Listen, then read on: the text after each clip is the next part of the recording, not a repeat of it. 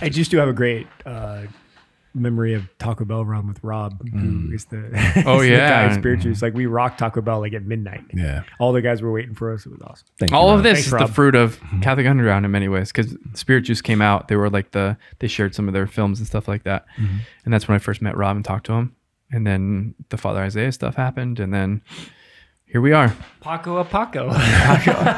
after taco a taco. wow. Sorry about that.